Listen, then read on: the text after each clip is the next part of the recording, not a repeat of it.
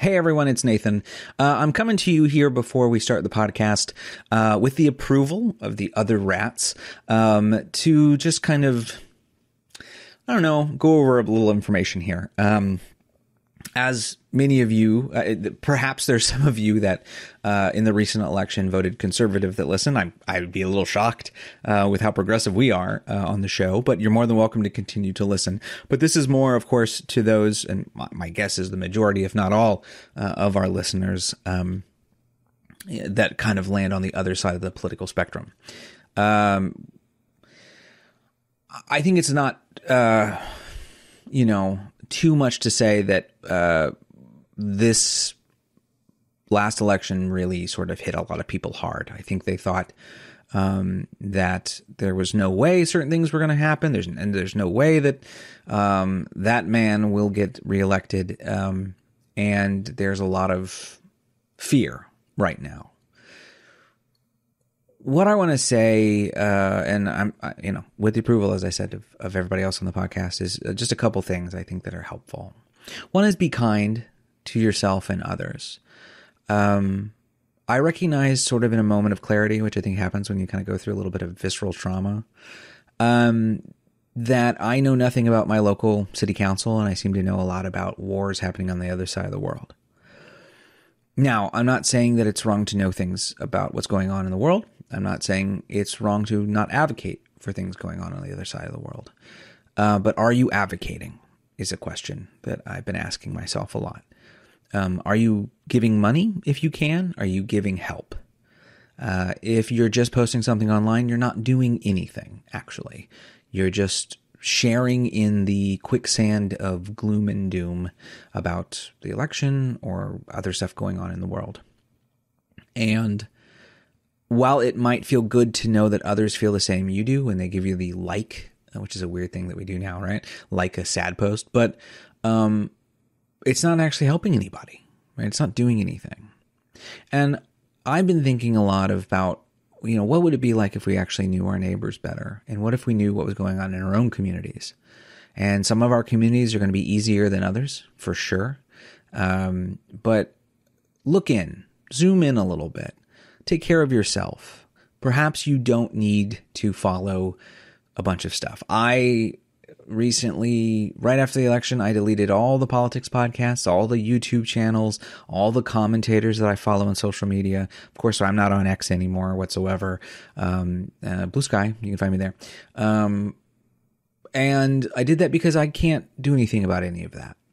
I can't, and and it's hard sometimes. I, I like to know stuff, and it makes me feel like I'm in control, and I'm not. But I am control of what I take in and and I think it's a good idea and would behoove a lot of us if we started being kinder to ourselves about what we consume and taking that extra energy that we don't lose because we're sapping it away on doom uh, and using it to give time or monetary funds or assistance of some way to organizations that can be helpful.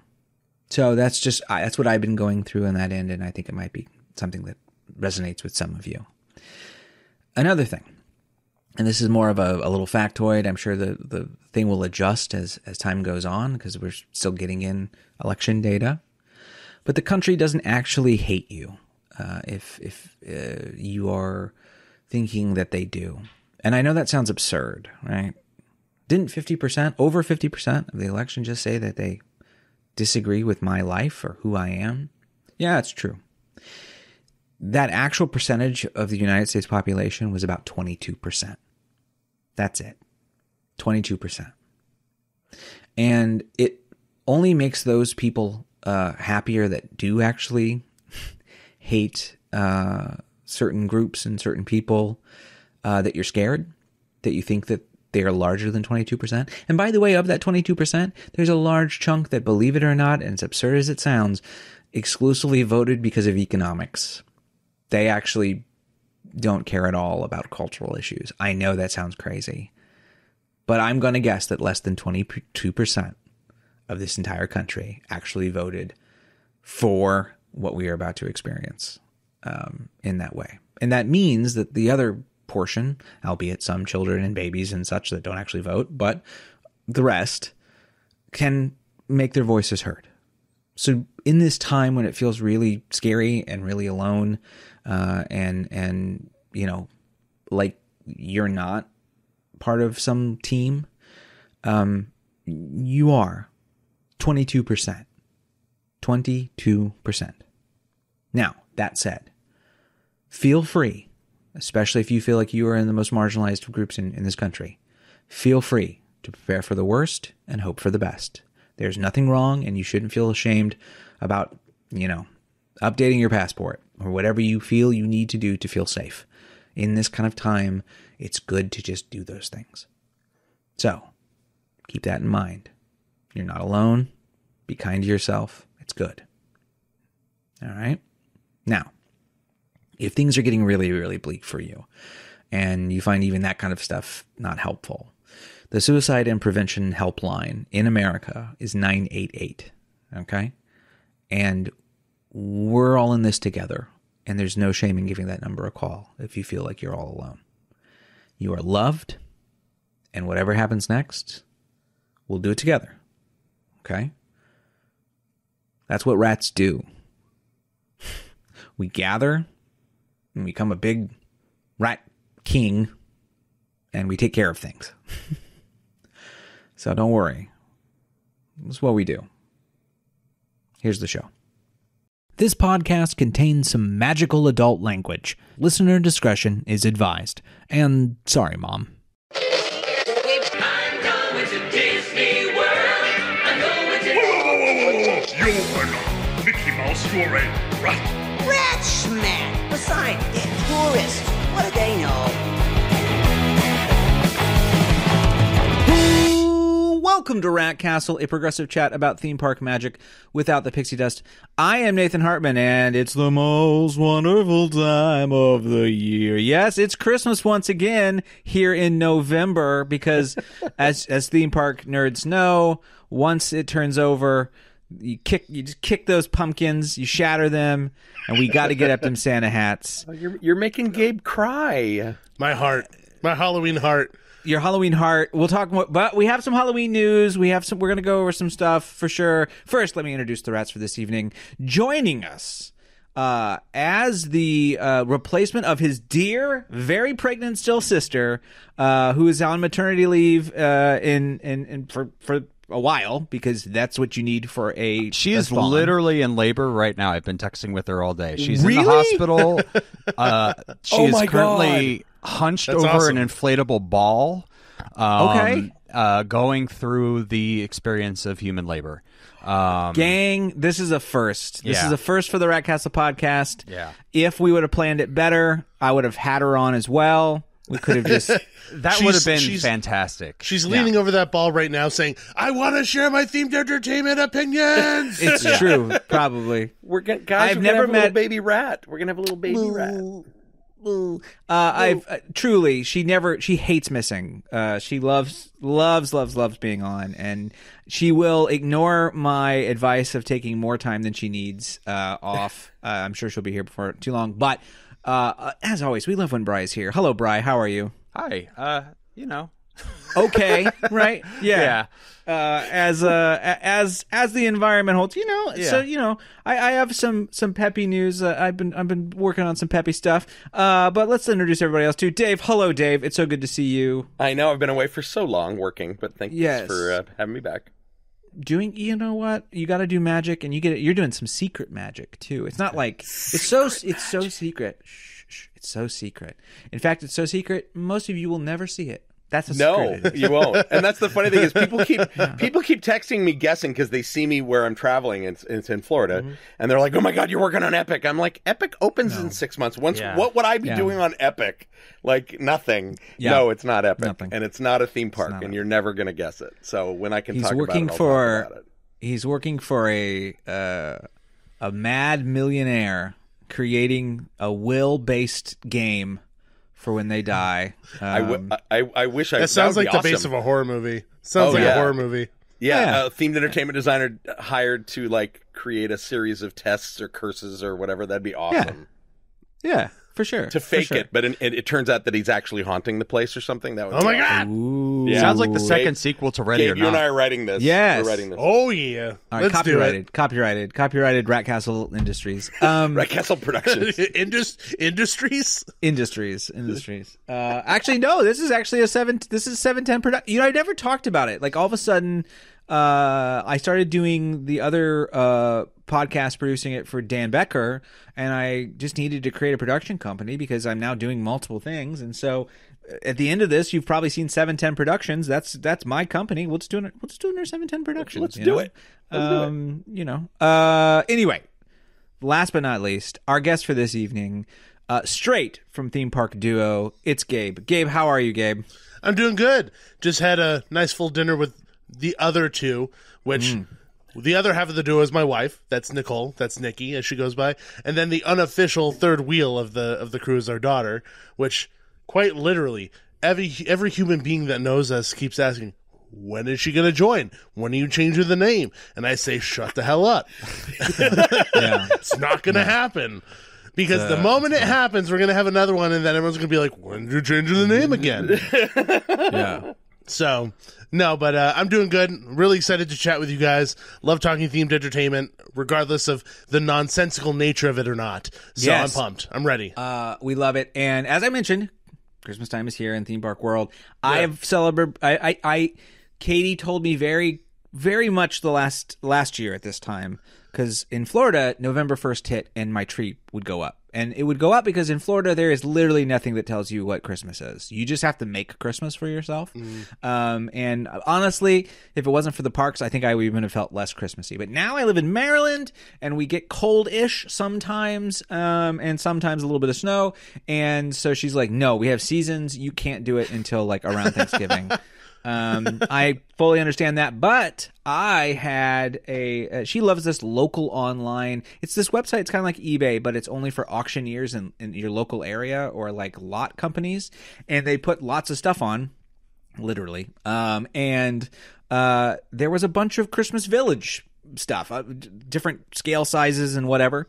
So uh, I got like five lots for thirty dollars of these old nineteen nineties Christmas Village porcelain village That's things. cool.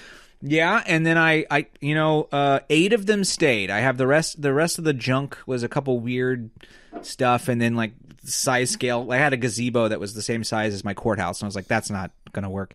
Um, so I, everything's now scaled up. So I have eight. Uh, I, I bought lights for them. So for fifty dollars, I have uh, a whole eight-figure Christmas village. I'm very, very happy. It's all set up now. Um, so I'm I'm getting into the spirit a little bit already. Uh, and so is Disney, and we're gonna get into that with the. Oh, I should say before we, uh, you know, get into the the news. I don't want to. If I say it too loud, the the, the music plays. Um, uh, Bry, if for some reason she like delivers her child while we're here, you're more than welcome to interrupt at any time. Um, that would be perfect. That'd be great. Um, That'd be great. Uh, the- based on the current timeline, I don't think it's going to happen. So No, you know, Nah. well, this is the first ever 14 hour podcast. So you never know. Oh yeah, well then. yeah, we happen. might get it in in this this 14 hour podcast. Yeah. The news.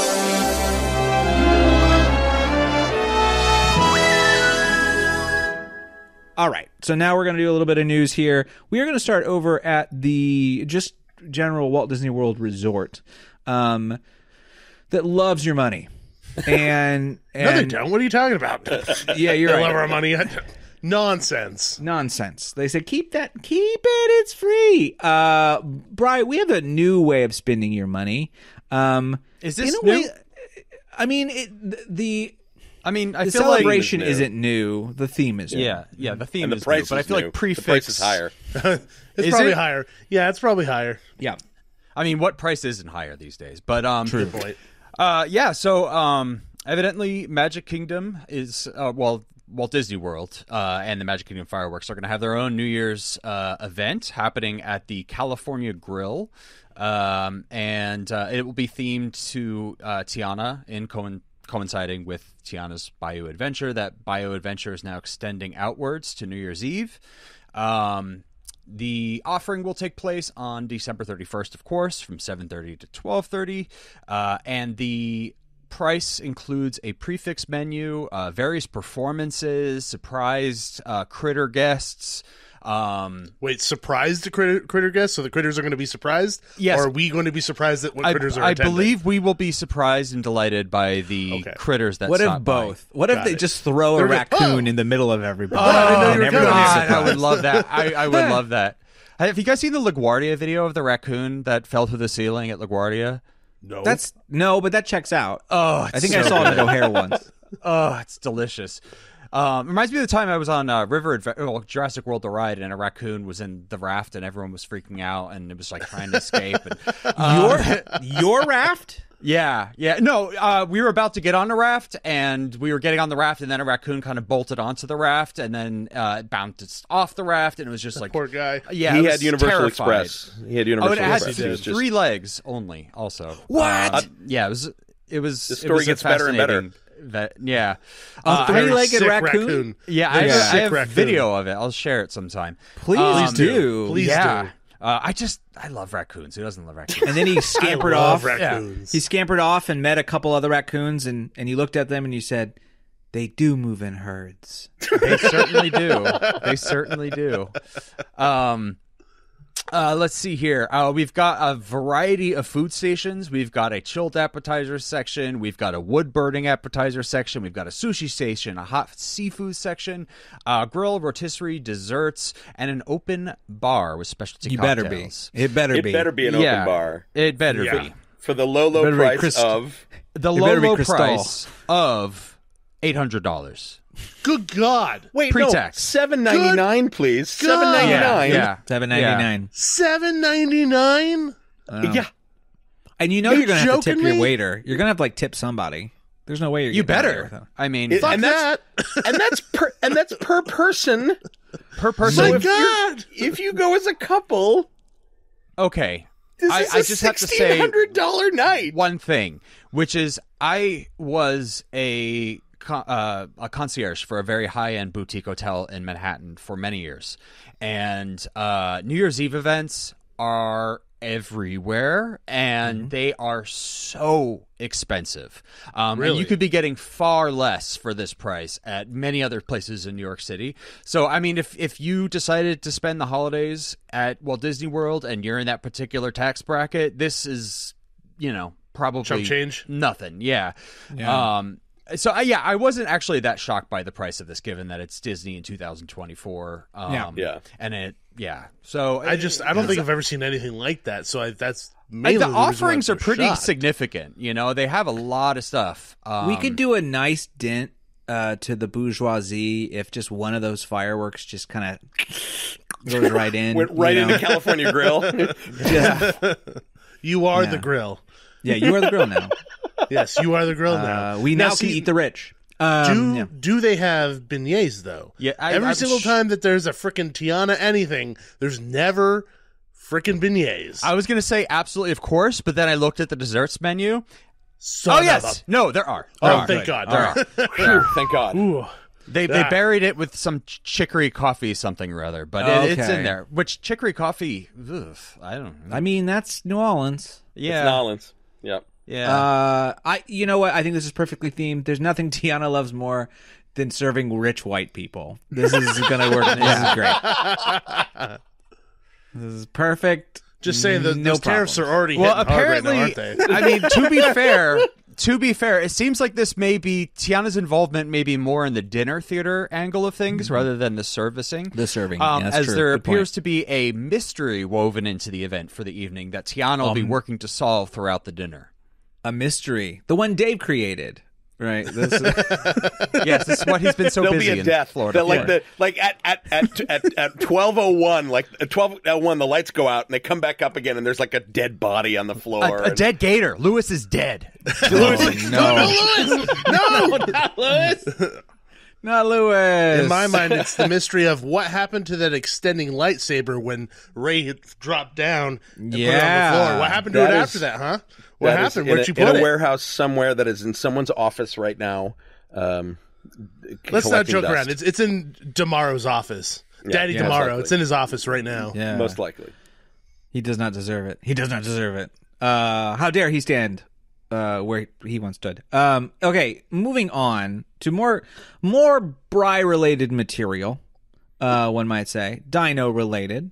Yeah. Uh, and, we have and really less restricted by class, I would say. Also, less restricted by all about. class. Yeah. just the just the uh, admission to Animal Kingdom. So upper middle class. Yeah. Um, uh, we have Santa is coming to. It's like it's like Santa is uh showing up to say goodbye. Yeah. To Dino Land. Uh, weirdly. Uh, we have some photos too. If you want to tell us a little bit about it, I'll bring up a couple photos. As Yeah, well. so um, I don't know why they didn't do this sooner. So anytime, I, so my birthday is in December, and I would often go to Animal Kingdom for my birthday, and it seems that every time I would go, there would be like a DuckTales overlay. Uh, Mhm. Well, there still is, yeah. Mm-hmm. yeah. Is that still happening? Yeah. So I, I just never understood why the holidays coincided with DuckTales uh, being Uh, there. it's DuckTales is just always there because Oh. ducks and dinosaurs. That was their connection. That's their connection. Okay, cool. Um, anyway, it was always disappointing, disappointing to me. This year, however, they're going to be utilizing the uh, gloriously well themed uh, Restaurantosaurus and uh, taking over a little. Uh, lanai patio space and transforming that's it into the 75th uh, holiday party for the Dino Institute. Um, All right, that's cute. So it's a Like the- staff like the co- party. Yeah, staff party. That's great. Yeah, I which I I think is brilliant, and I love it. rules. Um, the rustic decor of that space and the kitschiness of it works so well with Christmas. Um, I love it. Uh, the, it's already up and going. It's going until the twenty fourth, I believe. Um, the for Dino lovers and Christmas lovers and that kitsch. I mean, I'm a fan of all three of those things, and I want to be there. Oh, that's so cute. I love that image. It's so cute, and I just think I mean it's great that they're embracing it before extinction. You know, um, it makes sense. I wish they could have done it sooner, but uh, I think it's a really lovely way to embrace that space and and and get some more use out of it before it's gone. Doctor Seeker has a has a, uh stocking. Yes, Look at all the dinosaurs with the Santa hats. It's super cute. It's so cute. My favorite, my, f- I mean, I've got a lot of favorite things, but uh, as a as a particular dinosaur nerd and a huge fan of Carnotaurus, which is of course the terrifying uh, uh, predatory dinosaur on Dinosaur the Ride, they have a wall mounted uh, Carnotaurus head that's like red with white snowflakes on it, right next to Santa, and I just, Yeah.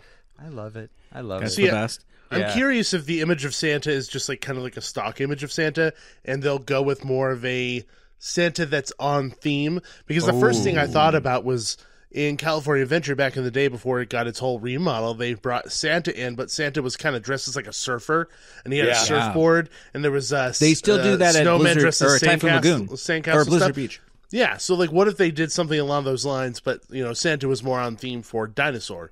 Archaeology. yeah, well, Archaeology paleontology. Yeah. Yeah. Well, here's the thing. I, I noticed. I'll, I'm going to bring it up again. Um, the one thing I will notice uh, about the concept art versus is, is not a shock. I remember hearing about this. Uh, we people were talking on social about this concept art, and everyone said that rug is never going to make it. Yeah. and as much as I think it should, and maybe maybe it's just because it takes a lot of time to create, it definitely didn't make it. Definitely did um, not. I I'm not holding that against them. I don't like saying concept art is like the need. I mean, it would be amazing, but they're literally getting rid of this a whole land very soon. So a custom rug uh, for the span of like what a month, a month, months, maybe? less than a month. Yeah, it's just not going to happen. can Something have a there would be nice though. Feels very open. We can have a little education at some point about you know what to expect from concept art and why you all need to stop arguing about what's been cut for Yes, budget you know because what? you saw it in concept because every everybody online listening everybody who talks about that shit online oh universal's cutting Mm-hmm. the universal monsters because there's less cubes in the model that's not why that's not why at all there's so many other reasons Yeah. Ugh. anyway sorry off my Uh, soapbox There's but a y'all are uh, wrong on on my sale box. Uh, you should all head over to the newest episode of Fun Fun Fun, where we talk with Justin Martin, who uh, was one of the creative directors for Meow Wolf, uh, and did tons of concept art. And he said, and we had a very good conversation about what what people should expect from concept Oh, art, cool. and and the relationship between the concept artists now and the fan community, and what that kind of looks like. So oh very god much. i gotta listen to that Yeah, i worked with too. justin he's a great guy Well, well, Dave, you should be listening every week to Fun, Fun, Fun. So I don't know what to tell you. I didn't even know Um, I've Fun been Fun little Fun busy existed. making magic myself, so yeah. Okay. Okay. Okay. Um, yes, Bry. I'm doing a, another podcast. I'm producing it, and I, I, I have commentary, and sometimes I'm uh, the the co-host for non-guest episodes. With I didn't with know that. Disney Dan Becker. Yeah. I so gotta listen to it.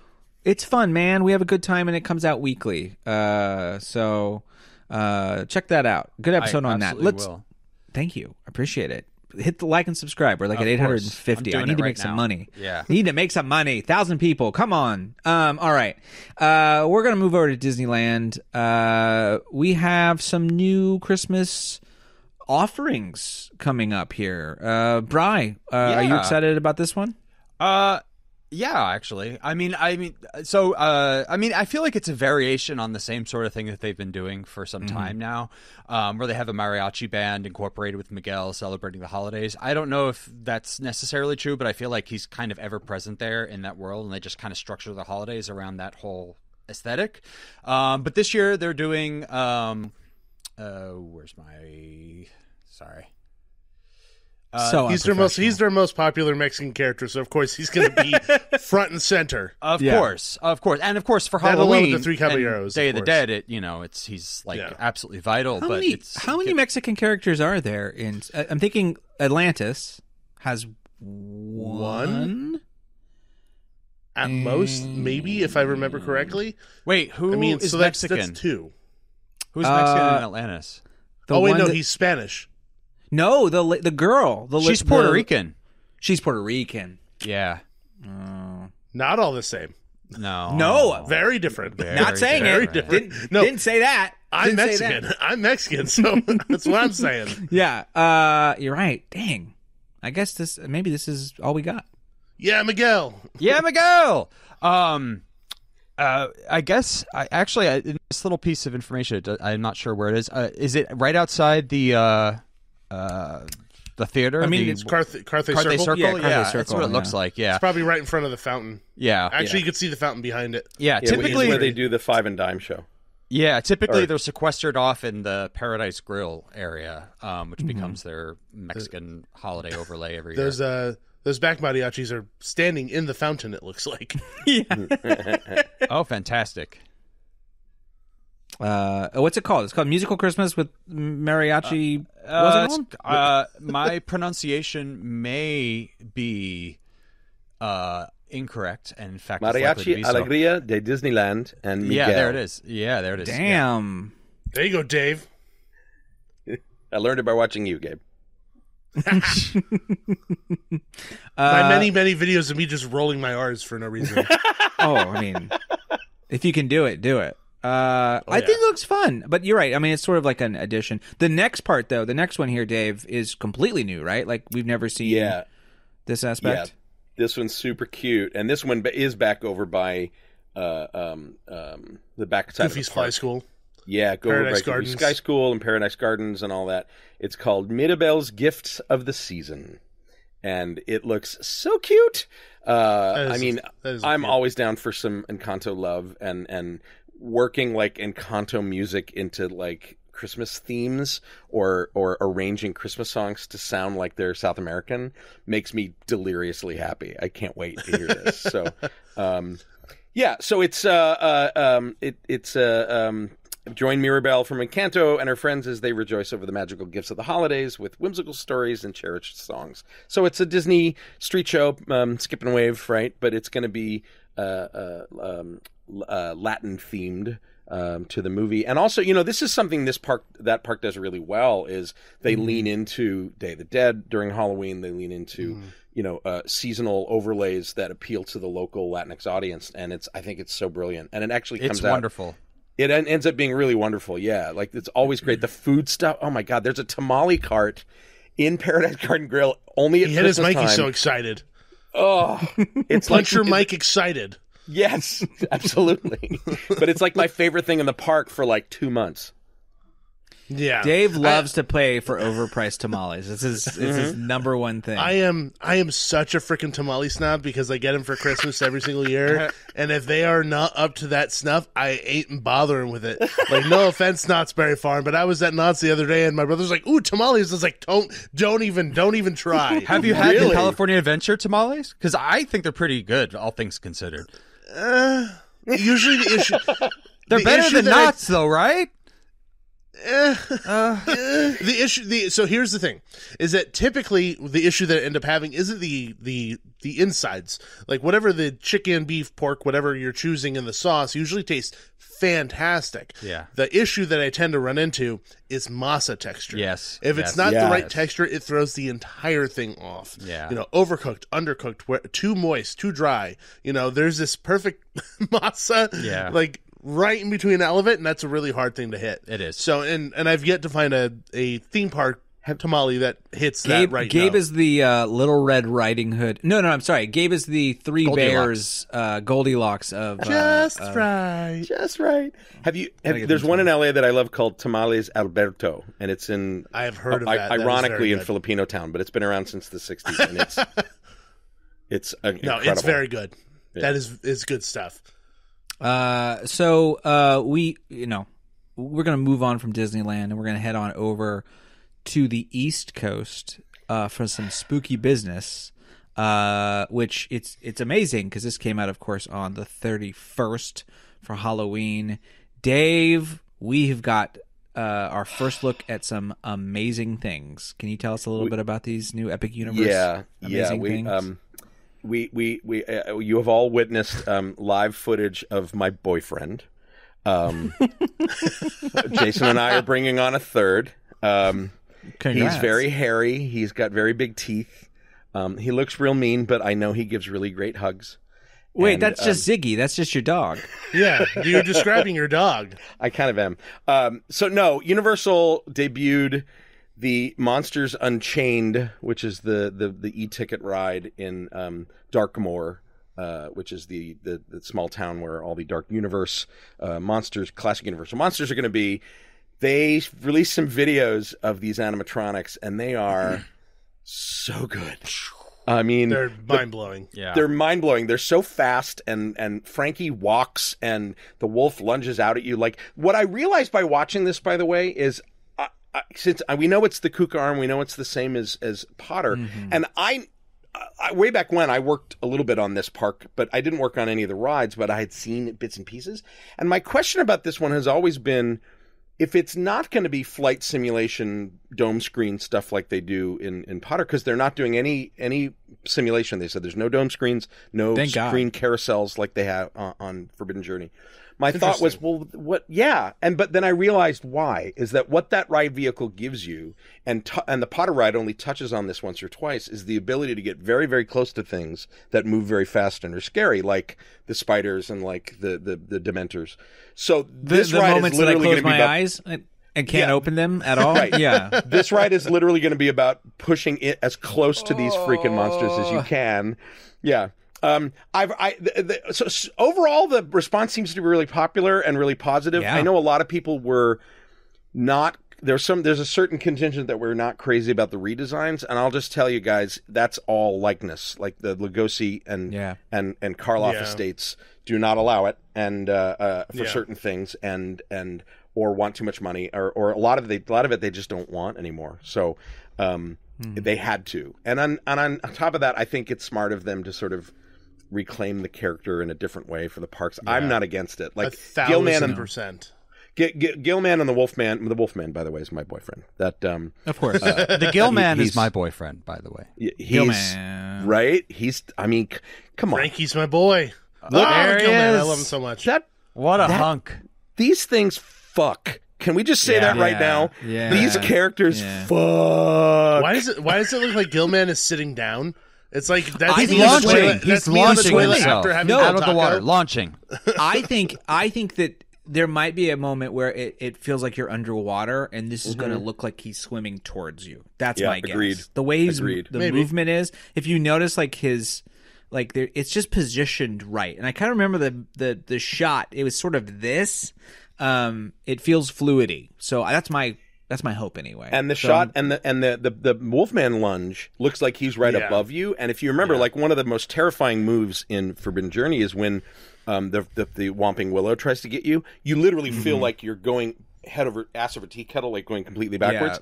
What's Yeah. amazing is you're not. I've seen the, the tilt on the ride vehicle is actually only like this. It's like leaning back in a in a in a overstuffed chair, but. For some reason, it feels like you're completely upside down. So that's, I bet you that moment is an on your back moment where he's lunging at you. well, That and would the make weird, sense. The weird thing about the werewolf too is that, or I should say, the wolf man technically is that uh, uh, we also know that there's a swipe kind of variant in the in his ride. Yeah. Um, so I I wasn't if they hadn't have said this is exclusively for this ride, I would have Oh, assumed you're right. this would have been that one. Interesting. but they did. They said this was all about that one. Uh, Have they ride. said there too. will be an animatronic Wolfman Yeah. Wolfman on the th- roller Yeah, Yeah, there's there's an, there's an image. There's also an image of the concept art, but you can't trust the concept art, can we? No, I, that feels like something that you have to assume uh, will occur. A couple things I will say: it, it's very clear to me Frankenstein is going to be our hero here in the sense Clear. of helping us. Um, I have no issue with that. He is not a villain technically. Uh, Misunderstood. misunderstood dude. He just wants friends. He just wants friends. Our bad boy. Let's give let's give it up because honestly, I'm getting more Chris Lee off of this Dracula than I am. Yeah, me too. Uh, Bela Totally get Lugosi, and I'm Which for I love. because I love I love a a red eyed. Fangy Chris Lee uh, hammer, so this works for me a lot better actually than Bela Lugosi. uh, That kind of vibe I think would have felt, I don't know, It would not have felt enough. off with the tone of the ride, cheesy. based on kind of like how everything is working. Yeah. It just would not have meshed well. Yeah, Do we do we know uh, who's responsible for these animatronics? Which Uh, yes, particular Creature company? Technologies. They're the people I knew oh it. my god, I knew oh, I didn't know that. Yeah. They're the guys that did, you know, the big Kong. They did the big um, dino that chases the vehicle in, in, in the Beijing. They, They did did all, all the Jurassic World World uh, f- Yep. projects, like the live show. They did the dragon. They Yeah. did the dragons for the the- the, the the, dragon the theater yeah. show, Yep. right? Yep. They're That they're Universal's sense. like go to right now. and they are incredible. Yeah, they do great work. Yeah, They do great work. Yeah, You know, the slash fiction for these animatronic figures is going to be off the chain. Like Oh, big time. Are you kidding me? The, tho- those I'm- horror those horror nerds are freaks. And and in the best possible way. And the the Can't tweets I saw You can't spell horror without horny. You Almost. cannot. Half of it at Yeah, least. I mean, they sexed up these characters can, for faux show. I mean, I'm as a horror fan, as somebody that loves the classic Universal monsters. Just to kind of touch upon some, I don't forgot who said it, but you know, the kind of the redesign. I have no issue with the redesign. I, I mm. mean, in particular, when it comes to this attraction, I don't particularly want a Lugosi or even a Christopher Lee in this attraction. I need something that's going to fit it thematically and tonally, and those characters just don't. And if they need to be a little bit more badass for less of a for a, for you know lack of a better term and, and mm. modern then so be it. That's what we need and i'm excited for it. I'm excited to see just the the actual fact that we're getting a universal monsters land. Like that's Yeah. absolutely bonkers and the thing is that some people are like oh well the universal monsters aren't that popular. I'm like Not true. just you wait and see. No. you wait and see how popular they are Yeah. That They're like the Blade bar. bedrock. They're the bedrock of, of horror cinema. Like they, uh-huh they are they're the it. foundation Yeah. of it and to miss to to kind of like second guess that i think is a big mistake i think it's going to be the second crowded most crowded area of that park in my opinion I'm more second to excited potter about. just to be fair oh, I think Nintendo over Potter, but but but Oh, then I again, that comes uh, that comes from I'm the coming East from a- Coast. yeah. yeah. i'm coming from a perspective of like oh i have Yeah. super nintendo at hollywood so yeah, you actually you're not you're not wrong there yeah. But we'll have DK, so ah, mm. That's what I'm excited about. i'm so mm. excited I'm so excited about that too. I uh yeah, I this is all very exciting. Let's talk about more horror things that are very exciting. Over at Universal Studios, are we just calling it Vegas? I know it's got an official name, but like this is universal Horror horror, Unleashed. unleashed, Horror Yeah. Unleashed. Dave, what is Yeah. going on? We finally know the houses for Horror Unleashed, and we have a little some concept. Yeah. art. So so this is part of an expansion at um, Area 15 in Las Vegas, which is where uh, the Vegas Meow Wolf Omega Mart is. Um, and you know, th- Vegas has gone through multiple eras where they tried to do you know non-gambling entertainment. Yeah, Dave, haven't you went through this before? I, yeah, I've been I've I've I worked on Star Trek. I worked on So Caesar's Merlin- Magical Empire. I uh, yeah, I worked on a ton. I worked on M&M stuff there. There was an M&M's attraction that I worked on there. Oh, Um, I thought you meant the so rapper for like, Like, two Mar- seconds. yeah, Marshall Mathers. Marshall Mathers. um, Uh, no, it was a it was a, The- it you was know what they the M- served in their cafeteria? What's Mom that? spaghetti. Oh, right. It was uh, it was called the M&M's Academy, and it's where the M's go to earn their letter. It's like a like a university. It was really cute. Oh. um, anyway, um, yeah. So Vegas has gone through these these these you know cycles, and the last I would say couple of decades has been the mega resorts uh, aiming for people who wanted to splurge and spend money. But what they found is there's this other market, which is um, you know uh, early 20s to mid 30s friend groups who who aren't big spenders who go and get a hotel room and crowd like six people into it and and want to get the cheapest drinks and and they play a little bit they do a little bit of gambling but it's mostly about drinking and doing some fun stuff as a group. And this thing is primed and ready for that. And i've heard people say you know vegas has had a couple of haunted attractions before. Like didn't eli roth have something there? Yeah, Eli Roth's Goratorium. Yeah, I didn't go, so I can't talk to w- whether it was quality or not. Did you, Gabe? It, I didn't get to go through it. I watched a lot of POVs and spoke to a lot of people who went through it. I think Yeah. the issue wasn't necessarily the quality of the sets or the props as Yeah. much as it was it being staffed fully to the brim as much as it should have been. Mm-hmm. Oh, okay, all right. And and I know there was a Saw thing there for a while. Anyway, regardless, Universal obviously would not do this in, if they didn't see a market, and I think there's a huge market for this. Um, and so it is a year-round uh, quartet of haunted houses with a bar and some uh, um, uh, Here's the bar if you want to see. The, through it. Yeah, and so this looks like it's themed to Jack the Clown, uh, and it's got some circus, uh, some grotesquerie circus elements to it. Um, so you know, drinking and Halloween. It's just like Halloween Horror Nights, um, and uh, they have announced four houses that it will be opening with. Um, Universal Monsters, which is awesome, and I am I'm assuming it's going to be a li- like the ones that they've done at Halloween Horror Nights in the last couple of years, which have been really great. Also reinvented versions of the characters, and um, this year's in particular was like this all girl cast of. The, Van Helsing was a woman, and, and, and it was all the, the, the lady monsters, and it was just great. Um, so it's probably going to be one of those or an amalgam of those. Um, the second is the Texas Chainsaw Massacre, which I think is a really interesting choice. It's funny that uh, I didn't think going into Halloween Horror Nights on the West Coast this year, I didn't really think much of tech of Texas Chainsaw. I've seen it before in a maze. It's like eh, it's an older brand. It'll be fine. It was my favorite one of the whole event. Actually, it was. I, I thought it was, It was just really good. Perfectly done and actually scary and had some really good scares. And the environments were great and it was really gross. And so that's a it's a really good choice. That's like a solid choice. Um, the next one's kind of uh, uh, one of the brands that came out of Florida if I'm not uh, if I'm not mistaken Gabe uh, Scarecrow the Reaping was one yeah, of the that was uh, HHN 27. Yeah yeah um, and so so You're like, yeah, listeners yeah, if you- sure, I don't know. Yeah, yeah, so I was going to say, listeners, if you don't know, Gabe is our is our is our haunt whisperer, and has an encyclopedic knowledge of this stuff. So, um, uh, and then the fourth one is Blumhouse's The Exorcist Believer, which is an interesting choice because Oh. the movie did okay, bad? oh, It was real bad. but the movie was not great. And and and the scariest thing is they're just showing the movie. Like that's all they're doing. yeah, they strapped the- me down. they had the maze in in, in uh, L.A. last year, and it was fine. I actually thought the classic Exorcist maze they did like five or six years ago was amazing. do Because they have an do you do a Ann maze? Dowd scare actor in there? What? Ann Dowd, she's an uh, Exorcist believer, and also in Oh. Hereditary and The Oh, right. and Yeah. Handmaid's Tale. I'm very curious. I don't I don't know. know. I don't remember. I don't know. just just playing Ann Dowd, just playing Yeah. the actress, Yeah. not, Just playing not, herself. uh, She's- the I, character. She's I in the would go pre-show. if they had an Ann Dowd uh, scare actor in there.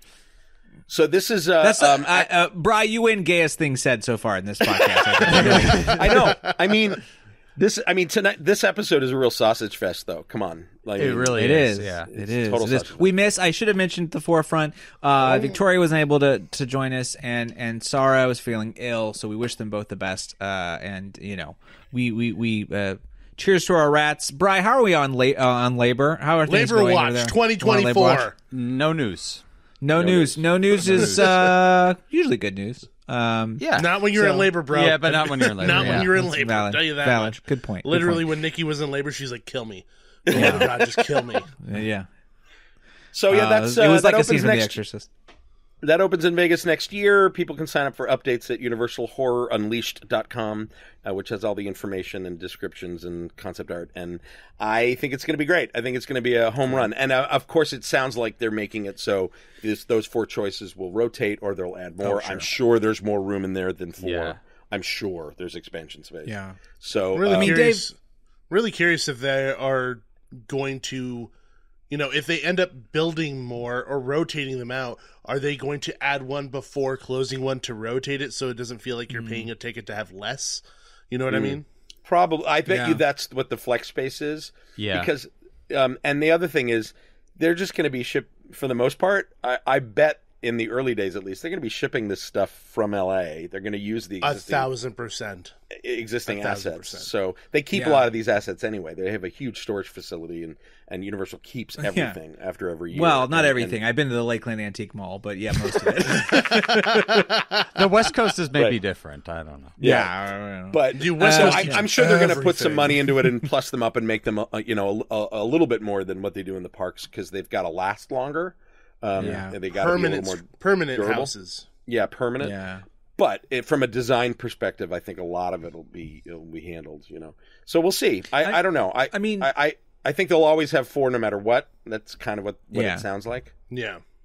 Dave, do you see? I mean, from your perspective as someone who's who's done the Vegas thing uh, for for themed entertainment, it, it feels like possibly the '90s surge was family oriented, and this Yes. is more bachelor bachelorette party oriented, or 20, 30 something friend groups. It's bachelors and Yeah. bachelorettes. it's just graduated, got just got my mm-hmm. PhD, going with my homies. Right, it's like celebratory twenties and thirties. we're broke but not super broke. right. We're not Yeah. super hmm. broke. We can't go somewhere expensive, but we want to go somewhere super fun with lots of choices where we can get hammered. That's Vegas has turned into that really.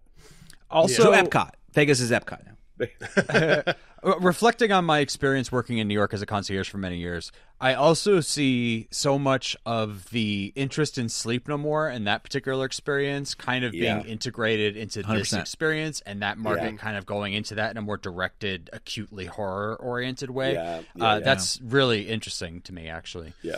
The Yeah. the one thing that I do want to say is like Dave, you're talking about like why Texas Chainsaw because it was it's kind of an older brand. I feel like out of any of those, you from hearing the name the Texas Chainsaw Massacre, you kind of know what you're getting, even though you don't know the IP or the brand. So I feel like that's the easiest thing. And the same thing kind of goes for Universal Monsters. Okay, I know what that is. Or The Exorcist. Oh, I definitely know what that is. You know, Scarecrow the Reaping is like the one outlier in all of those that nobody really knows what that is because it's an it's an uh, original IP from Orlando's Halloween Horror Nights. Do we know if, if are you buying all four or do you buy individual? Do we know that I think yet? I do not know. It doesn't say, but I would bet it's a it's a one ticket for everything. That would be my guess. That would be So- my guess. Yeah. I, I know you were talking about kind of like this new kind of cycle that Vegas kind of goes through, and you know Universal probably doing their their research when it comes to this sort of stuff because they wouldn't be building it and spending their money on this if it didn't have money to be made. Uh, a big question mark for me is just the fact that I feel like this type of horror, especially when it comes to you know very intimate ha- haunted house style experiences, is a very niche, unique mm-hmm. thing. Because even when it comes to the theme park experiences, you know that's really tailored to a certain group of people. And then mm-hmm. realistically, how many of those people are going to be in Vegas and say, "I want to do Well, that outside of"? I think it's outside of the theme park group entirely. Yeah, I think it's the ones that go to the local haunts and they're like, "Let's go to the fancy." uh, Now we're going to go to Vegas. think- this is going to be the coolest haunt we've ever seen. It's kind of like when Universal did the escape rooms, right? It's like Mm. I you can go to like a local escape room, but it's not the Universal escape room, and you pay a premium, but you also kind of get Yeah. a premium experience. So I my guess is that's what they're they're betting I th- on. And I also, like, also- it's irresistible to hordes of drunk friend groups. Would Yeah. you know? Oh, God, like I it's, feel exactly bad for it's- those scare actors. I feel bad for those scare actors. That's it. Well, Like they it's get, come on, they get drunk at the parks too. Yeah, yeah. Yeah. It's True, it's absolutely designed for that demographic, and, and there's yeah. no end in sight of that particular demographic. We can also see now that the escape rooms were not a success for Universal because they would have added that to this if if it was. They've already made them. Yeah. Um. If if they if Back to the Future or Jurassic World had been, you know, really They're making too ex- money. They they're too it. expensive. Too expensive. And They are. are and they are They're too intricate. escape room light. Yes, a- mm-hmm. ha- Yeah. having experienced them, I I was Yeah. just disappointed. And Same. and- I yeah, thought it was product. good, Yeah. and I, I I get what they're getting at in terms of design because it's an escape room where the puzzle solutions can be different every time you go in. There's a digital mm-hmm. overlay to everything, and and to me that's clever, but it doesn't justify the the price. You know, and, and No, it was I a thought it high was a price. good Back to the experience, Future but I've was- done better. Back to the Future was really well themed. I loved. Yeah. I loved my experience. I wouldn't say that it was a great escape room. I guess that's Yeah. the best way to put it. Yeah, and I Um, think that I think that I think the other friend, the, the other sort of friend group dynamic here is that Mm-hmm. when that friend group is figuring out what they want to do, they're going to be like, oh well, all, they can all agree on Meow Wolf, but this is the one thing where it's like four of the six want to do this, the other two are scaredy Yeah. cats, and the four push them into a maze. Like that's who this is for. Yeah. That's literally Yeah. who this is for. Totally. exactly. I am very curious to see how well it does. I'm very very interested.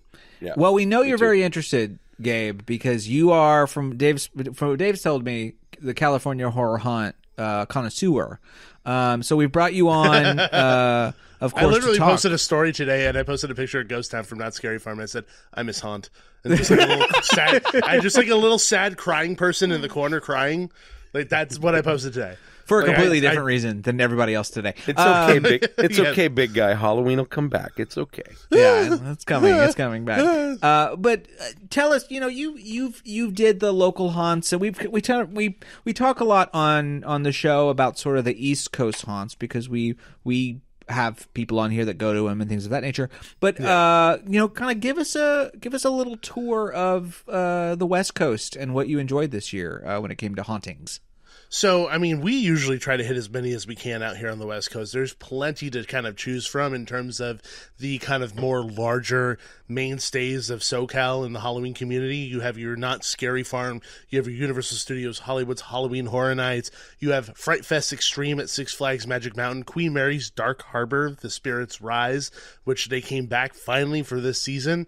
Then you have more of some of the independent haunts like Reign of Terror and Thousand Oaks. That's about maybe 20 minutes away from me, which is one of the like largest haunted houses. I think it's like 60, 70 rooms or something insane. Like it's it's huge. And then you have home haunts galore to the point where you have a whole website called the SoCal Haunt List that is dedicated to showing you where every single haunted house is located, every single yard display, every single home haunt, every single little interactive yard display, and you could go to each one of them. So there are so many different variables when it comes to the Halloween experience out here. And you know, even if you don't like getting scared, there are things to do like Boney Island or something. You know, there are, you know, family friendly experiences out here in Southern California as well. Just there's there's a myriad of choices. That's so. Uh, did you did you have name your top three this year? What was what what really hit hit you? That's that's that's that's like choosing b- between children. this is difficult. So You only have one kid. Not what for I- you. You have one. Yeah. I mean, I choose the dog. It's Yeah. easy. Well, there you go. Yeah. the dog doesn't bug me every single day, asking me like, "Papa, can I have another snack? Can I have another Yeah. snack? Can I have another snack? Can we go to uh, Disneyland? Can I have another snack? No, I, I'm sure Um, the dog does bug you for snacks. I'm gonna guess, but he's sleeping right now. oh, good boy. Um, so here, here's what I'll say is that Knott's Scary Farm is the event that I fell in love with. Halloween Haunt was the kind of the genesis for everything that you're looking at right now. Like, I, I absolutely fell in love with the Halloween season because of that uh, event. So I have a Knott's Scary Farm K tattooed on my calf. Hey, so you know, I, I am a dedicated fan of that event. So it's really hard to kind of choose anything else past that. I love every event for different reasons. You know, each one brings a different flavor, and I, I, I hate getting into that conversation of like, which one's better this year, Six Flags or Horror Nights or, or Scary Farm? Like, It's all subjective. it's all subjective. Like, it, mm. I could think that one's better than the other, and then somebody else could be, you know, in the in the other corner. So, here's what I'll say. I'll give you some highlights from the season because it's really hard to choose other than than Knott's Scary Farm. So for me, Knott's Scary Farm, the two new mazes, Widows and Eight Fingers Nine, the Boogeyman. Those are both new mazes for this year, 2024, and both were absolutely freaking spectacular for different reasons. Now, one of them was a spider uh, haunted house in a convalescent home which is it is it is a very weird description, um, but it gets under your skin. The sound design was phenomenal. A lot of those like kind of high Was pitched, kind of squealy, yeah, widows, uh, high pitched squealy noises. You know, it reminds me a lot of what John Williams does with the bugs in Temple of Doom and things like that, or anything you know re- regarding creepy crawlies. Um, really got under your skin and kind of takes a few different turns to this realm of spiders and deities that you're not really expecting. And then with Eight Fingers Nine, it is a fairy tale. It's a fairy tale about a boogeyman about this child who was bullied and left in the woods to die, and a fairy basically brought him back to life as this monster to kill people as revenge. And what he does is that he eats their fingers in their sleep as they're paralyzed. So that's why it's eight fingers nine because he's counting eight, eight, six fingers, seven fingers, eight fingers, nine. That's that's where that finger. Uh, it's not a sexual connotation. It, it literally him counting your fingers as he eats them. Um, by the way, I think it's really funny that the same designer designed a maze that it replaced called Dark Entities, and everybody called it Dark and Titties. So I just want I just want to point that out. It makes me laugh. Makes me laugh. He went from dark, dark and titties to eight fingers nine, uh, which is fantastic. Uh, and that maze also goes into a very crazy realm as well. And it only That got better weird. during the season because a lot of these things got really tailored, uh, and you know the sound design got nailed down and really helped deliver a full fledged story, which is what I like when it comes to these experiences. Halloween Horror Nights here in Hollywood, fantastic this year. I unfortunately thought that our version of Universal Monsters was not as good as it should have been. I think I had some really bad run throughs, unfortunately. Mm. But when it mm. comes to the ones that I really, really enjoyed, I absolutely loved Insidious. And insidious was really people said. fantastic this Yeah. year. Really good. Really intense, really scary. So what was the other one? There was one more that was on the back. Oh, the Weeknd. The Weeknd was Weeknd was stellar. great. Yeah, it was so it was good. so good. And Yeah. it's funny because when you think of the Weeknd, you don't particularly think of anything overtly horror. So when you go in, you don't really know what to expect other than, hey, I like this music. This music is fun. And then it just smacks you upside the head with so much gory imagery Yeah. and weird monsters and like really brutal scenarios and it's fun. His videos have a lot of weird, like dif- disfiguration and surgery, and, and there's a lot of weird things in Yeah. him. So he's one of those ones that the horror sneaks up on you with his brand, and Mm. I am constantly surprised by how good those mazes are. That one and Texas Chainsaw are my two favorite of Universal, with Insidious being third. Texas Chainsaw was definitely a surprise hit for me. I wasn't expecting to like it that much. Me too. Because Me usually too. Texas Chainsaw, it's pretty on the nose. Like you get Yeah. it. Like I know what I'm gonna get. There's probably gonna be a face peel. There's gonna Yeah. be somebody getting a chainsaw pushed into him. Okay, I get what you mean. But every set I felt like kind of pushed the intensity further and further and further. And there were a lot of really fun sets that I've not seen them do before. One of my favorite ones was kind of the set him up and knock him down, where you have Leatherface on one side and you have Chop Top on the other, and they're raised, so they're looming over you, one with like a bat and the other one with his chainsaw. And I thought it was fantastic. Just a bunch of fun. Then moving on to Fright Fest Extreme, which this year the Extreme just meant IPs because they, they added that. Uh, which, I mean, it is true. That's essentially what it is because it is Fright Fest at its heart, but with a whole bunch of new IPs added in. T- uh, Trick 'r Treat was so freaking good. Was I it? loved it I so love that much. movie. I liked it a lot. Now the thing is, is that I I could already hear people saying, "No, Gabe, it wasn't that good. the The sets weren't great. All these things." I'm judging a lot of these things based on the merit of their own parks. If I'm trying to Hmm. compare a Fright Fest to a Horror Nights, you're going to be disappointed every single Yeah. day. Yeah. it makes no sense to do that. So I judge the mazes based on the park's previous mazes. Yeah. And Trick or Treat was a major step up and in the right direction for Fright Fest, in my opinion, or at least Six Flags Magic Mountain. You know, there's a lot of good that have that has come out of the experimentation, which, you know, that's what I'll say about Fright Fest is that they experiment and they do some weird crazy shit that like you won't expect. And I love that about them. Plus they're you know their uh, makeup team the Scott Ramp and the Scream team is just absolutely second to none. Like it's so freaking good. I go to Fright Fest for the talent and the scare zones. They are so good. You're you're going to get really tailored experiences. So like the thing is like when it comes to Halloween events, you think, okay, haunted house scare, scare zone scare. At Fright Fest, I feel like, and Scary Farm to a certain extent, but Fright Fest Extreme really lays it on thick with allowing their monsters to have character. Hmm. and be characters and deliver tailored kind of interactions that aren't necessarily all the time about scaring you as much as is either making fun of you, making you laugh, having just a nice back and forth sometimes. You know, there's a scare zone at the top of the hill near Tatsu called Nightmares. And there's a character there called Lorraine Lorraine, and she is a witch, and this is all like black light makeup style scare zone, everybody's a fairy tale kind of character. So there's like a Pinocchio, a big bad wolf, there's a queen on stilts, all this stuff. And Lorraine Lorraine, every single year, has a new business venture. And it's like the thing to do is to go talk to Lorraine Lorraine and find out what her new business venture is. so the first one was chunky pumpkin lattes. And the, the chunky part was uh, curdled milk at the bottom of it, and you had to drink it with a boba straw. That's how what she would always talk about. And then she talked about pedicures because she's carrying a severed foot inside of like a shoe and things like that. So every single year it's about what new product she's trying to sell. Or the clowns in City Under Siege, which is in the DC Universe area, you know, they're absurd and up to no good. And this year they also have a brand new scare zone, which is actually probably one of my favorite scare zones of the season, which was the Underworlds of Oz. So it was all Wizard of Oz themed, and it was the books, mm. so not the movies. Sure. So you get Do we get rollers? you get wheelers. They are Oh, wheeler yeah. scare actors. Yeah. Which, oh, yeah. which when they announced Hell it, I was like, yes. How are you going to do that? So basically, what they did was, you know how you, you've ever seen the stilt walkers that have like stilts on their legs and their hands? So the they have like a shorter version of that have, that have wheels on them, but they're also wearing wheelies. Light up wheelies, and they're rolling down the hill towards like Twisted Colossus. That's like and it Return works to so Oz well. style. Yes. Yeah. It's so good. Uh, they have a whole bunch of flying monkeys, which are the sliders in that area. You have your queen that swaps heads. So there's a whole section where you see all of her different heads she likes to Mombi. swap out. Yeah, Mombi. And then you also have a witch on stilts.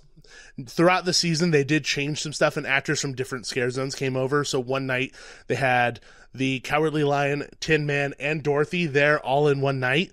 And Mark Wing, who is the creative director over there, actually goes out usually every season at least one or two nights dressed as a character, whatever it ends up being. And this year he was the Wicked Witch of the West.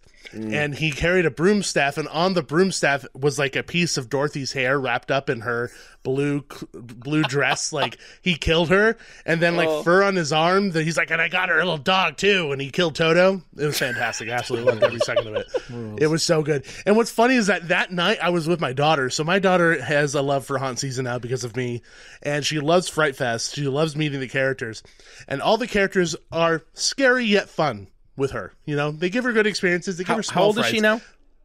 She is six. She turned six in October. And uh, if you look at our social media, you can find a whole bunch of pictures that I posted of me gushing and crying and all the nonsense about her being Aw. amazing at these haunts. Um, every character usually like likes to talk with her, give her small frights.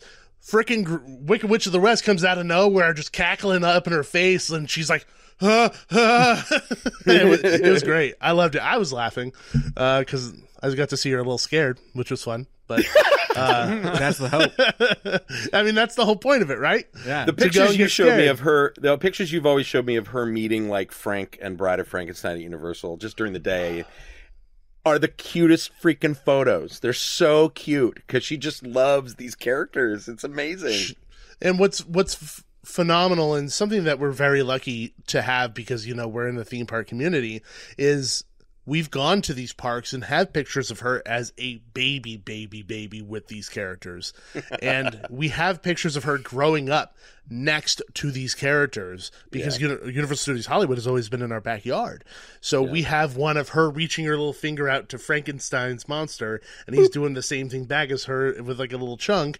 And then now we have a picture of her. She had drew she drew a picture for them and they were taking a picture together holding up the picture she drew for them. So you know i'm trying to i'm trying to foster a love for these characters because i love Yeah. them so much. And for her i kind of just did it by like he's not scary he's just sad and mm-hmm. nobody wants to be his friend and he just desperately wants a friend. And that kind of struck a chord with her and now she's like i want to be his friend um, which you know that was kind of the whole thing She doesn't know what happened she to the last girl that tried to be his friend, right? She's gonna get thrown into a lake. Yeah. I know. So when when he when she gave him the picture, he went to the flower bush in the in like the Universal Plaza and picked the flower and gave it to her. And I just looked at her and I'm like, thank God there's no water around. Kay. and she goes, she goes, she goes, what? And I'm like, You're good. You'll see when And you're then, older, yeah. Like Bride, Bride of Frankenstein was like, because she can't talk, uh, which was fantastic. But uh, yeah, so I mean, like with with our daughter, she she is kind of growing to love these kinds of events, and I'm kind of straying off course here. I'll get right back to No, what we're good. talking about. But with regards to her, you know, the the entire time, kind of growing up in our family, she realized when I said Papa's going to go see his monster friends. Because that was the easiest way to kind of explain it was that Papa was going to a haunt. That's what it meant. And I will try my best not to cry saying this, but we were at Fright Fest Extreme and we were walking out of City Under Siege and you know, I was like, "Are you having fun?" She goes, "Yes, I'm having fun."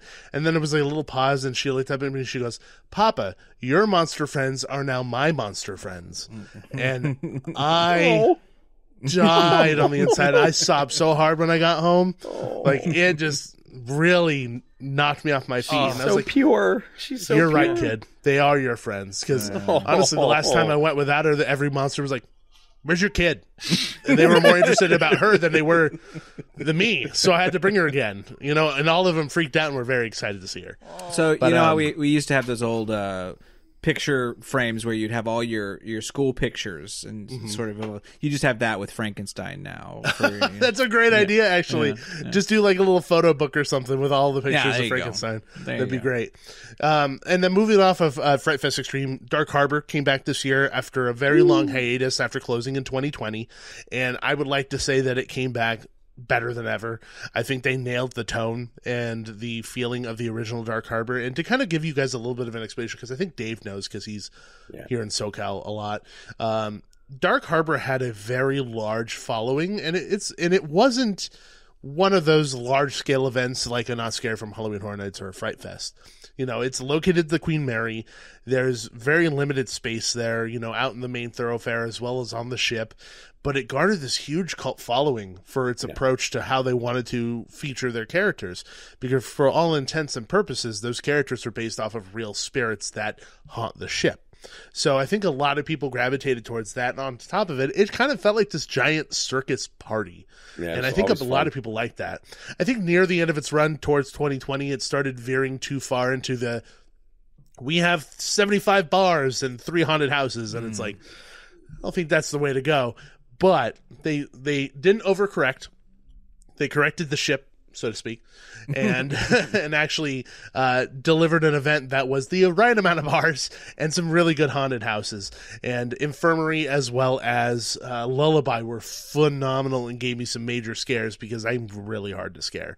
I'm really hard to scare. And there's been a couple of uses of spaces in that ship on those events that are the most terrifying haunts I've ever been in because it's just Agreed. by nature it's just a place that your your entire being is like I should not be in here.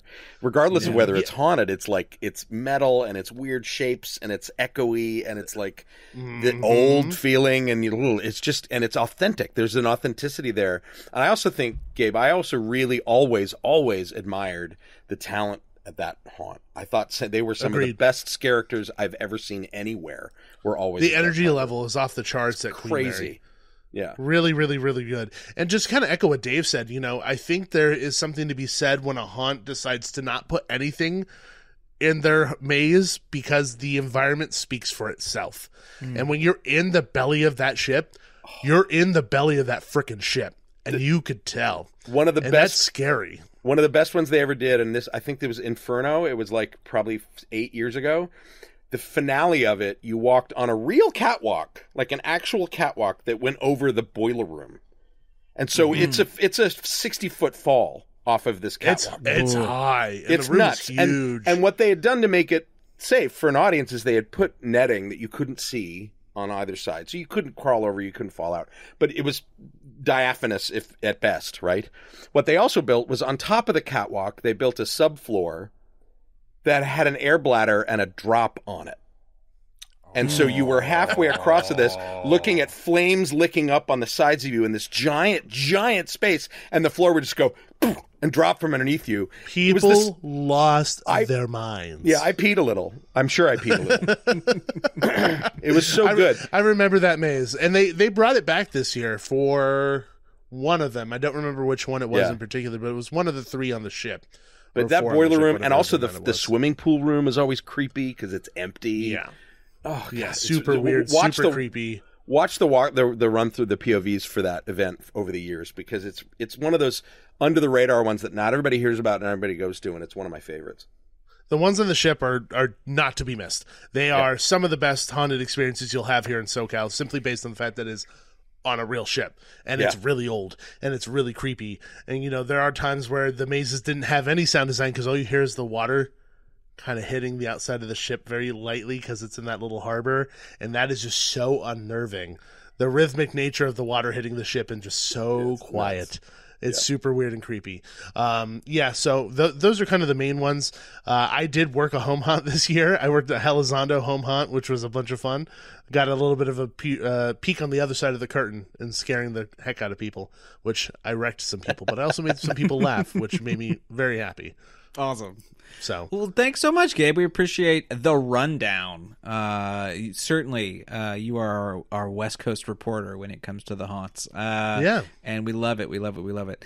Um, this is this has very much become sort of a uh, this is like a Hallowmas episode. It's like a, we're doing Christmas news and and Halloween reviews and Not gonna all- lie, it's it's kind of like what Halloween is is about halfway through the run because if you're at any Halloween event that also does Christmas later on, you'll start seeing Christmas stuff pop up in the middle of the Halloween event. You're like, what the f- what, what's happening? And, and Like, there's a block of the ice la- in the co- block of ice in the corner of the room with Mar- Mariah Carey inside of it, thawing out very slowly. Right? yeah, yeah, yeah. Yeah, like you'll see Christmas wreaths uh, up. Like on the last night of Fright Fest, I saw Christmas Christmas wreaths up. you know, in Ghost Town, there were the lanterns for Snow and Glow. At Universal Studios, you saw all the lights going up ar- along all the buildings during horror night. So this is an accurate representation. of Happy exactly what Hallowmas, happens. everybody! Happy Hallowmas. Hallowmas. Um, Halloween never gets its Chris Maween. chance. No. it's always it's always invaded. Chris Maween. No, Christ I don't- Ween? I don't know No. about Christ, Christ Ween. yeah, Christ I don't know about Christ Ween.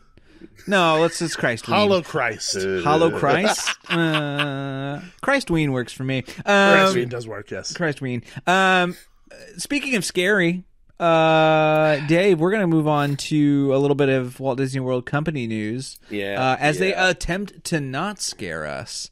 Uh, what are they up to? Oh, yes. So, uh, you know, AI is all over the news. The genie's out of the bottle. It's a thing we have to deal with. And so, how the uh, content creation companies and creative companies are dealing with it is something that people are watching very closely. Um, and Disney announced a, an announcement that's kind of a non announcement. I think it's an announcement that is a cover your ass so they don't get bad press announcement. Is that they said they're creating a team to oversee the company adoption of AI and mixed reality in a which is weird that they bundled those two things together because they're not really the same and they're, They're not, not technologies same. that depend on each other.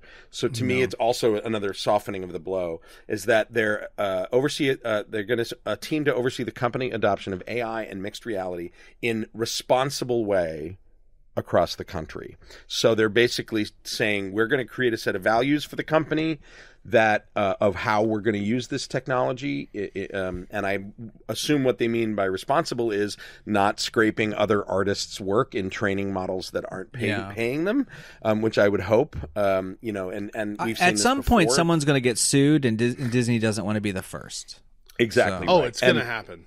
It's going to happen, and and you know, Adobe made a big big deal about how their AI built into Photoshop and Illustrator and all that stuff lately uses uh, is only trained on models of art from their licensable collection, which sounds great. Meaning those people get paid just like when something gets used for licensing. And guess what? It's not. They they don't, I, and it never really. I don't know if they lied or they didn't know, but the models were trained on tons of stuff they didn't pay for.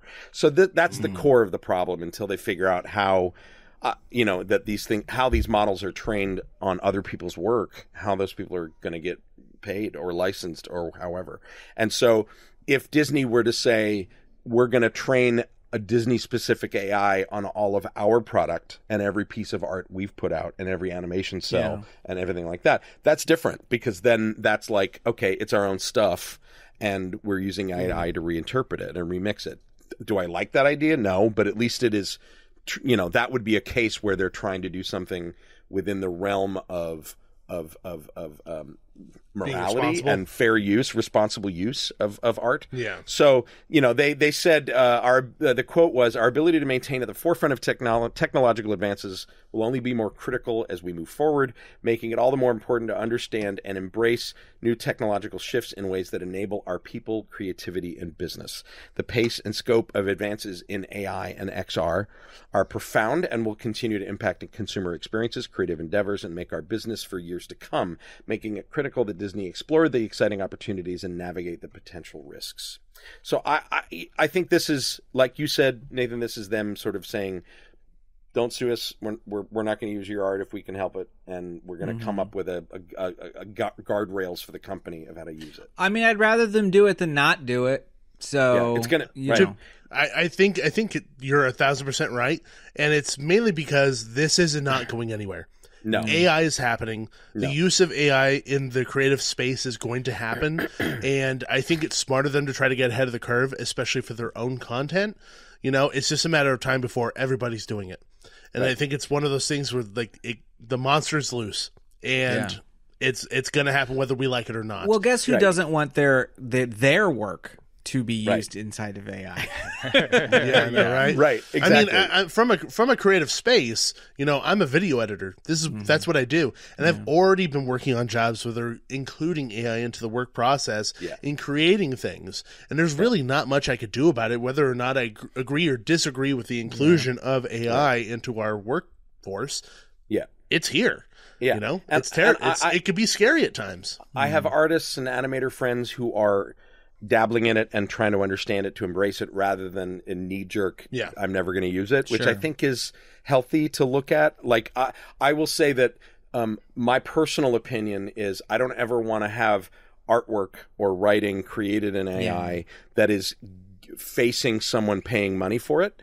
But I will say I have used AI in, the, in the same way that I would use research images for a mood board because those are all mm-hmm. stolen images anyway that are not going to be put in front of a consumer and, and paid for. They're Sure. they're they're inspiration for our artists to have ideas from. And so I've already used it for that. And that's exactly the same way mood board works. So for me, I'm finding my niche of, of how to use it. I've used ChatGPT sometimes for like, help me solve this story problem. This is the result I want. Here are the characters I have. And it'll give me options of like, yeah, where I'm not having it write the script. I'm not having it write the story. I'm saying I'm get, having trouble getting past this one thing. Give me Mm. some examples of, of character resolution or a dramatic intrigue or whatever. Like, give me a, a, a prompt, you know?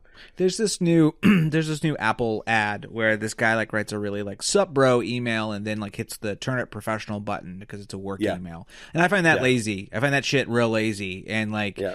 I, that's dumb. But I, I will say like uh, my wife uh, who has ADHD finds it so helpful to be able to utilize uh, Chat GPT to help her write some emails because it's hard for her to sort of lay things out in the way that she wants to lay them out sometimes. And I think from a from a from from that sort of perspective, I'm like, I get it, right? You know, it's different than than everyone all of a sudden sounding the same because we're all using the same writing tool. Um, Yeah. Right. I It's going to use feed on Grammarly- itself and it's all going to get yeah. stale. Well, and I use Grammarly for the spelling, not the AI stuff, because Grammarly is better at giving me suggestions than Apple is, and Apple will get better at it, and I think that's fine.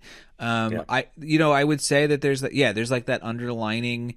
Apple's been smart by sort of saying, hey, what we're doing is going to be sort of uh, it's on your phone and and and it's you know we're trying to sort of like make you not realize you're using AI. It's just helping your your process, and I think that's fine. Uh, You're right. I think I see this in in the kind of AI artwork already. That gobbledygook sort of look. Uh, everything Yeah. looks like that Wonka experience. Uh, It's all stuff very now. uh it's, it's all kind of like one tone, very smooth looking. melty. Yeah. You know, hands are not quite right. Yeah. And I know of- it's like- kind of realm. it's generation what two or three uh probably like five and i don't even know it because i'm ignorant but yeah i mean i just don't think i think you know it's fine I'll give I- you. I'll, I'll give you a- yeah. an interesting example I saw today on on LinkedIn. Hmm. A friend of mine who's an animator, and he's been he's worked in CG animation for a very long time, and he's been doing experience with it. And one of the things he did is he took a, a set of the old Mego Star Trek figures, the, the, the action figures, and the bridge set that was the toy. and he took pictures of them from every angle and he gave him a prompt to animate it and it came up with this movie of these animated toys it looked like stop motion and i'm like okay yeah uh, That's I the don't- kind of stuff that's scary, though. yeah i know That's i know that it is to me I is know like it the scariest part of all of it. I mean, But- I could give less than two craps than people are rewriting their Sure. resume with AI. It's Yeah, like sure this kind but, of stuff. but the, but the thing was that to the point he tried to make was that it didn't happen with one prompt it took him weeks to get it right uh, and he's like this is why as part of my animation process these tools are going to be Mm. Helpful but it's always going to need an animator's eye to know how to describe things to tweak the models when they're not right right It's so a new it's not like yeah, yeah it's it's, just learning a new language At a certain point, yeah yeah. So it's Well, another we'll tool Yeah. in everyone's in everyone's back pocket for whatever they're doing. Yep. So, I, We'll you guys want to see something real scary, real quick? Ooh. AI. Oh, Ah, oh, ah. There's So your scary. social clip. Ooh. I just I- I- didn't mean, didn't mean to give you guys a heart attack. I I, Oh. I just just I, I have a lot to say about AI, but one thing that is really frustrating me from a, uh, just a living on the internet basis, you Yeah. can now not Google any type of animal Yeah. of any kind without receiving 70 to 80% AI nonsense. So Yeah. for I have so many friends that are uh, animators or artists or scientists and they're trying to get uh, you know even like creative people looking for a mood board of something or someone's looking for this Yeah. reference for this particular type of animal. Yeah. Yeah. And it's just flooded with Yeah. AI nonsense. Like just trying to get the reference and finding it correctly and sifting through all the tells Yeah. of like, is this AI? Is this not AI? I mean, Yeah. it's it's it's really a problem. Britannica is just sitting over there going, "Mm, "It's our time again." Like, ah, we're coming back. Incar- Encarta, Yeah. Encarta, to 2024. For real. Mm, Here we come. You need you need a source. We got you. We got. And it's true though. Like, I I think that would be great if there was. I mean, there are in theory, but you're right. I, I think we've just reached a point where when we when the internet first started, we were posting photos and we were like, oh god, like it it doesn't know the difference between this type of dog and this type of dog, and we're getting all this, and it's the same problem. It's just a new variation on that problem, and I think it'll just take time to sort of figure out. I mean, they know what's AI created and what's not, kind of already. They're figuring that kind of stuff out, and Who it's is they? scary. They, uh, Google for one, because it's screwing everything up for their algorithm. Okay. Um, Yeah. Uh, but I think everybody uh, in the tech sector, it's really cool to make things, but it's not really cool when you realize that thing can now take money away from you. Uh, And so we've reached that point. And so that's why you see Disney and and these other companies. You know, like for example, you love that uh, the, that example the the Star Trek set, right? And and animating it. Um, Paramount wants a piece. Do you know what I mean? Like it's it's one of those weird things where we'll we'll see where that kind of all lands. But I yes, think go the ahead. only bright, I think the only bright side is that you'll always need somebody along the side of whatever it is. You'll Yeah. always need somebody. for real. But for you'll real. need one somebody on the side versus eight people actually working on something. That's the concern. True. At least with screenwriting, that's the concern is that they'll Now- churn now- a bunch of scripts into the system. They pop out a variation of James Bond 493, and then they have you know fucking uh, Tony Kushner come in to like polish it up. You know, like that's Yeah. that's the concern. Well, here's what I would say about that. I would say that if it's cheaper to make movies, they'll make more of them. And and that's that's one way to consider it too. Is there's eight people now get to work on eight different films instead of just not working. Um, hopefully, but you know, greedy bastards are greedy bastards. So we'll see what happens uh, on that front. But that is for another day because we got to talk about trash people at theme parks with Beware Our Guest.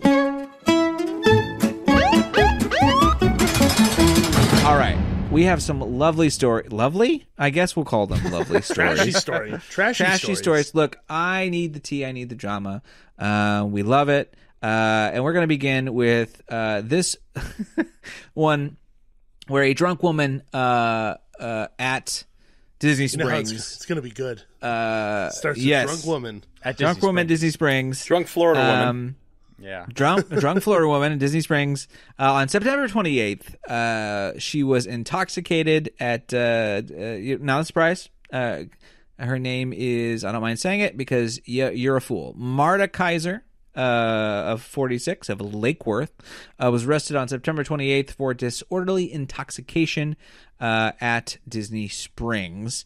Uh, and the reason for it is basically they just she was slurring her words and uh, they uh, she was kind of like annoying people and so they were just going to help her leave uh, you know was kind of the idea like hey ma'am let's let's get you out of here um, she had like a cut on her arm um, and and they were going to get her treated for that and then kind of like release her back into the wild or whatever um, it's a capture and release situation. yeah yeah Catch Uh, and release. but she uh, uh, didn't necessarily want that. I guess would be the best way to put it. Uh, she like fell on a like in a planter at one point, uh, and then uh, she got really combative with the officers. Uh, and she began repeating, uh, "Fuck you! Take me to jail! I want to go to jail." So they did. Um, I they- do oblige. uh, Yeah, I mean, they were the, the way it's sort of written out is that they say like uh, this is from the Orange County Jail, I think. The deputy says they attempted to escort her off the property for uh, her well-being, but they never ordered her to leave. Uh, we'll never know if she would uh, have lawfully departed. That's because she was arrested for wasting too many important resources and for cursing at the cops. So, um, what I will say is I love a I love a, a Florida lawyer. Uh, and we got one here by the name of uh, his last name's Uhrig. I'm looking for his first name. Uh, let's see if I can find it here in the article. Uh, Hal Uhrig. Okay, Hal Uhrig. Uh, he says so. The cop said that she had glassy eyes and was being aggressive and smelled like alcohol and was slurring her speech. And all Ulrig comes out and says, and I and I quote. The odor of alcohol is no evidence of intoxication. Under Florida law, you are presumed to be able to drive safely with a blood alcohol level of 0.05. You will have an odor of alcohol beverage on your breath, but the Florida legislator legislature says you are not intoxicated. Glassy eyes are another police favorite, but glassy eyes are no evidence of intoxication, Ulrich says. Our deputy claims to have heard slurred speech, but as far as we know, he never heard Miss Kaiser's normal unslurred speech either before or after the arrest. um, my man is working for his money. My man is working. It's just it's just so funny. Never Uh, heard her unslurred speech. How can do you, you say know? she's drunk? You could this could just be her. Um so uh it's pretty hard though to uh there's there's also body cam footage of the entire thing. So uh yeah. Uh good on you. I mean at least she knew where she needed to go. We'll say that. That's To jail. to jail. Uh, so the next one is very weird. Um, this is because a food delivery driver has been trespassed and arrested uh, because, well, I'll just read the story. Uh, his name is Tadio Miguel. Uh, oh my goodness. Uh, That's a weird last name. Angel. oh my goodness. Oh, sorry. No, Basacolomenares, I think. Um, what a name. Uh, very lots of lots lots going on. Uh, anyway, Tadio, 45, uh, was arrested on September 28th after he made the f- he he came up to the security gate at Fort Wilderness Lodge, or I would say Fort Wilderness. Uh, no, was it Wilderness Lodge or Af- uh, it was Animal It was, Kingdom uh, Lodge Animal Kingdom Um, Lodge. and he went up to the resort gate and they asked him what he was there for and he said to blow up the resort Oh my god. and the security officer said excuse me and he said to blow up the resort and then it uh what the report arrest report said so what the arrest report says is that the driver once again stated that he was there to blow up the resort that his truck was that his truck was full of explosives and that he giggled. And after making these threats, he then stated he was just a delivery driver delivering food. Um, clearly, Disney was like, nah, bro, like you don't get to go uh, into the resort. Uh, and a, a explosive uh, canine, Disney's explosive canine uh, unit Um, the way they, this is a bad. Uh, WDWNT.com, of course, is uh, put this article up, but this is uh, uh, Trashy stories from a trashy site. well, I tell you what, there's they, they cover everything, so uh, That's it's hard true. it's hard to They beat do. it. Uh, but the this is a sentence I don't think they meant to write, which is a Disney's explosives canine, which sounds like I know what they're saying, but it sounds like the canine just explodes if you need it to. Um, so anyway, it swept the the Corolla, the Toyota Corolla, and did not find any evidence of bombs or weapons.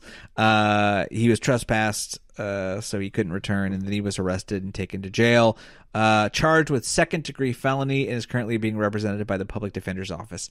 Like, my man, JK, JK. How long did he insist that he was there to blow up the hotel? Like, I mean, he did it twice. He goes to blow up the Yeah. the Did I stutter? Yeah. Yeah, Yeah, did I stutter? He cleared his throat and was like to blow up. I'm gonna. He said there were explosives in his car. Like it's.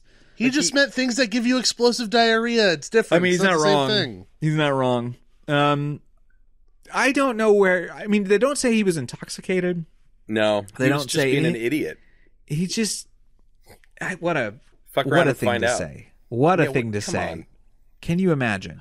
Um, uh, no. Anyway, the next story is very kind of strange. It actually ends And sad. In, in, in sad, but also there's a there's a point that I want to I want to make about this one. So this is uh, and uh, this has happened at the uh, Transportation and Ticket Center, and an an 80 year old man uh, was there. His name, uh, you know, I'm not even going to name him because it's not really his fault. Anyway, um, he's like an engineer in real life. He has like a job and uh, no criminal record whatsoever. And uh, basically, he's 80 years old and he has a uh, incontinence issue, and uh, he was uh, peeing in his pants and uh, basically uh, was told he he went to find uh, somebody so they could tell him where the restroom was at the TTA, and uh, he has a language barrier issue as well. He's Argentinian, uh, and uh, basically he wanted help uh, to find the restroom. And it says as the employee was relying to him, this is from the the I I believe the police report. As the employee was relying relaying to him the information, Fernando started uh, well, that's his name, but whatever. Started to lose control of his bodily fluids and began to urinate in his pants. Uh, he proceeded to go behind some bushes to finish relieving himself. One cast member, walking to her vehicle in the parking lot, saw his penis and told authorities she was both shocked and made f- to feel uncomfortable by the situation. I- okay, sure, sure, I get that. Um, another cast member headed. lose. Yeah, uh, another cast member headed to the break room uh, by the TTC um, security office and uh, basically uh, saw it as well. And then security came out and was notified that it was happening and ran up to the guy and immediately it says that the guard immediately ran out of the door of the security office and observed the the I, I don't know why they call him a light skinned Hispanic man. I guess they just are making it very clear. Light skinned Hispanic male with his penis exposed and urinating. The security guard told the man uh, in both English and Spanish to stop and directed him to the bathroom, but he appeared to dismiss uh, the instructions, the uh, arrest report says. Now, I just want to make a point here about this. If I'm peeing and you come up to me and say, stop peeing, It's gonna sting. I can't do that. It's not how go- it's- peeing works. It's gonna sting a real bad. yeah, yeah. It's I'm gonna have to. How do I put this delicately? Uh, squeeze the hose if I'm going to uh, make it to the bathroom. I suppose. Put Uh, a kink in it. this- yeah. yeah. Well, hopefully. Oh boy. Um, hey, that rhymed. Good job. hey, there you go. Uh, you know. So I think that's a little strange to ask the man. Let- Let's not act like he's refusing there. how old is Um, he again? 80 years 80. old. Yeah, there's no jeez. controlling that once you're that age. My guy, No. my guy was trying to finish off in a bush. Uh, So what seems to happen was the security guard did not press charges, but the two cast members did. And like, hey, cast members, chill the fuck out because like this is an eighty-year-old man trying to pee in a bush. Come on, you know some what he's doing. empathy. Yeah, He's not waving his dick at Did- you. Come on. Well, I guess the That- que- I guess the question is begs to be asked is like, did those cast members know that this 80 year old man with a language barrier was also incontinent. I would assume they did by the time that they pressed charges. Yeah. Yeah, okay, because if if they knew all of that leading up to the to the charge, and this is hard for it was also was the cast member uh like were they guys or female? I- they didn't I feel like that I would probably think. change their perspective on it just a little bit. And four guys talking about it and having our opinions on it Yeah. may be you know True. Just That's just true. want to True, point true, that true. out. Valid. No, no, it's true. valid. Valid. Uh, but I, you know, I don't imagine this 80 year old man is is lustily gazing off at cast members as he pisses his pants. Um, he shook it four times. should have Just four times. I wish sometimes I could I be just- done in. This is the times. kind of thing where it it should have been like once they knew all the things, it should have been like Just dismissed Move and on. like this not guy. even written as a report. No, it's Nothing. just come on. Now to the guy, if you have that issue, wear some Depends. If you're gonna go out for the day, like I, I know some people don't do that, but maybe you should. But regardless, like that's kids have accidents Yeah. in parks, and you see parents like holding their kids into the bush to All pee the because- time. yeah. all the time. Yeah. Like just it's just Yeah. a pe- it's a penis, people. It's just a penis. It's not Yeah. gonna hurt you. I mean, it can, but not in this circumstance. It's circumstance. just some pee. Yeah. It- the pee is the pee is not gonna hurt you. The pee, the pee I- will be I, fine. Yeah. I just wonder, like, how accurate is this report of what the experience was? I mean, based I on mean, the fact it- that people are. It's it says the one-eyed monster darted out of the zipper and attacked the police officer. yeah. I, I'm just curious, like, how because like I, I to get to the point of filing a lawsuit for something like this, it seems Well, it seems like they were. yeah. let me read, let me t- triple check again here but it seems like they were go maybe they were going to they wanted to pursue criminal charges against them um So it doesn't But- necessarily mean they did. but I it mean- seems to me if i read this correctly the state attorney's office filed a notice it was no longer pursuing criminal charges so that was a little bit later so they they, they chilled out but like come on um yeah i wish this had you and know they I get trespassed it. him. And they trespassed him. He can't go back. no did they really It's what it says at the end of the article. It's like that is just my man's not gonna make it back anyway probably yeah, I was about to say but- that.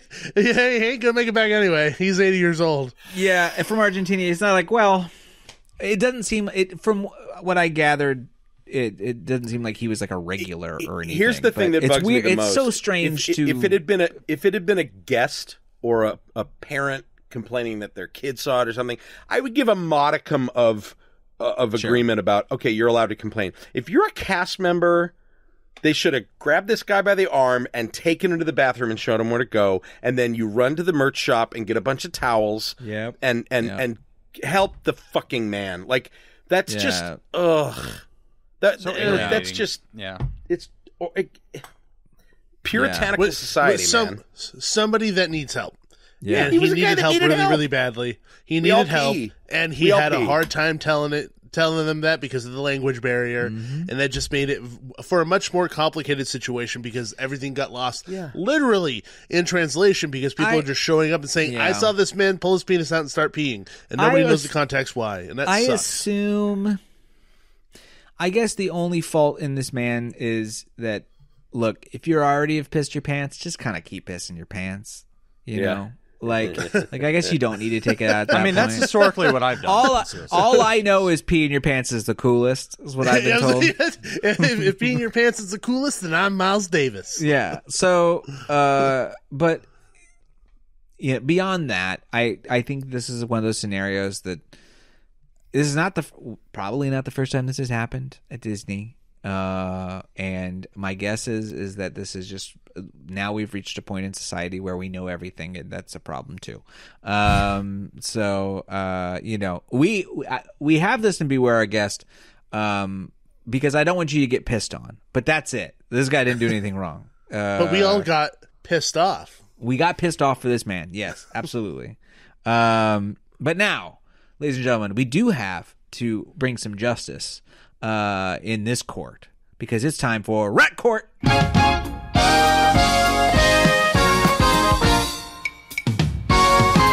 Hear ye, hear ye. Rat Court is now in session. The Rat-tastical Judge Nathan Hartman presiding.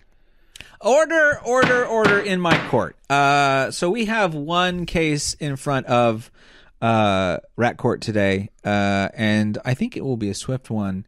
Um, subbing Guilty. in, subbing in for our court reporter is Briii. Briii, what do we have?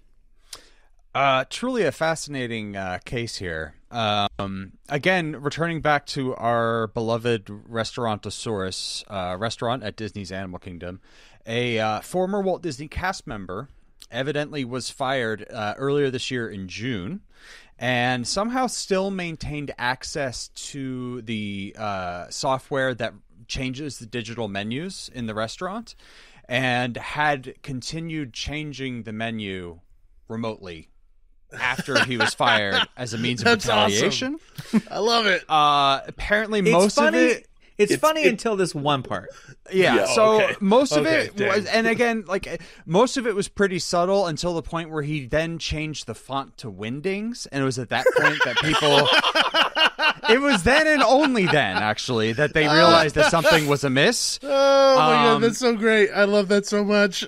yes, and uh, evidently, when uh, the menu changes to Wingdings, you can no longer see that something contains nuts, uh, as the text Oh. becomes illegible. And at that point, the food item becomes a threat to people's lives. Well, uh, am I correct by saying he also changed some of he the literally allergens? He it said he changed the allergen warnings too to foods well, that, that, that don't that's have. what's going to happen when you change That's- the whole text. I think, Like, but I that- think the Oh. wingdings was just the first thing, and that, that that's what made them notice. I think he but that added allergens and changed like. Does it say that? as well?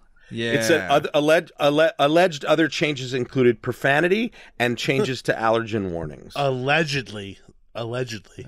allegedly, of course. I'm just saying that, like, technically, on a legal basis, if you change an Yes. item from something that is legible Correct. and says peanut, peanut allergies to wingdings, That's enough. It, Correct. yeah, It That- no longer. yeah. it, it's it, Yeah. you're Correct. fucked at that point. So, um, Yeah. it, it- The- uh, based on the information that I who have, here? it could be as simple as that, based on the information that I have. Who who who is suing who in this this case? Uh, I believe it's the Walt Disney sued. Company. I'm fluent in winding, so I would have been Yeah, safe. well, you've been okay. I believe the Walt Disney oh, Company. Uh, wingdings. yeah, it doesn't. I don't believe this No, article I- says. No, it does. The top. This is why it's in rat court. Don't tell me it's not in rat court. A former Disney customer is being sued by changing menu information after being fired. But who's suing? Probably Disney. We're saying The- this probably, but I don't see that. yes, said in or here. or just or just Restaurantosaurus. I like the And idea his- that these individual businesses. It's uh, Doctor Seeker. He ate some peanuts. Yes. and he's upset. Yes. He's also saying that that uh, that, that his lawyer is saying that that that he has a disability that he believes impacted his termination. So they're he's they're probably trying to get to a you know plea bargain or something. But uh, the FBI raided his house and ra- and seized all the electronics the that contained The evidence. of his FBI misconduct. raided his house. Yeah, I mean, my Caused guy's out there like changing crazy stuff. Uh, that's wild, man. That's so crazy. yeah. Oh, I do like that the lawyer does say the allegations acknowledge that no one was injured or harmed. I look forward to vigorously presenting my client's side of the story. Uh, okay. Was Make that your scent, money. Was that scent written in Wingdings? Yeah. Uh, The whole brief is in Wingdings. Yeah, Yeah, I mean, well, there there's at least two now. wingdings in this whole story. That'd be the lawyer and then and this guy. Um, uh, well, as we know, it's rat court though. Uh, is this a legit uh, or sus uh, suing? Uh, what what say you, Dave? Is this legit or sus? legit. Don't do that It's shit. legit- You were fired. Uh, Briii, what about you? 100% legit. Of course. And Gabe, are you a good person or not? Straight to hell with him. All right, there we go. Uh, we agree. Straight to jail. um, Straight to jail. I to will. jail. uh, What is my summon? Or what is my? uh What am I going to give this guy? Uh, uh He must um only eat, Eat the food at. Restaurantosaurus. No, it's good. Some of it's good. Some of it's all right. That's a pretty, Okay, it's a pretty all right. gnarly. Uh, he must. Uh, he must. thing there. Uh, he must lay under the uh, bulldozer as it starts construction on on Dino Land. Uh, says That I. seems a bit severe, Nathan. death.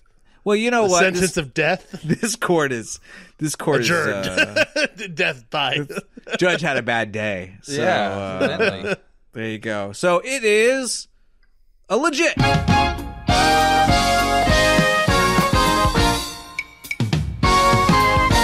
And that, of course, was a, a lovely, a lovely short episode of uh, Rat Court. We always love it. Uh, and we are going now. Uh, it's been a little while, but we're going to go to the mailbag. You know it's nice when the postman has a letter in his sack for you. All right, Dave. What, what what's in the old mailbag? What's what's what's going on over there? We have a lovely, lovely uh, letter from uh, one of our favorite fans who writes us a lot and always has wonderful things to say. That is Joser. Hi, Joser. Um, he he wrote uh, and said regarding the cake bake shop, which I guess just opened on the Yes, is it on this the is a portion of a. Uh, he had several different comments. I picked this one as my fave. Yeah, this was good. I said after recording the pod, reviews began coming in.